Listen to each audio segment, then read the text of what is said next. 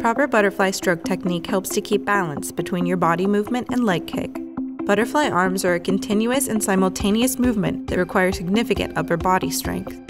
Let's begin with the front of the stroke. Extend your arms straight out along the surface of the water, keeping your middle fingers in line with your shoulders.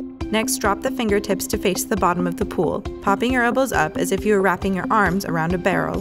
Next, check in with your pole. Guide your thumbs outside the blue black line at the bottom of the pool. This will force you to push the water straight back toward your feet. Finally, brush your thumbs past your thigh as you finish the stroke, pushing back as much water as possible. Practice tip you can improve your timing in this stroke by practicing single arm butterfly breathing to the side.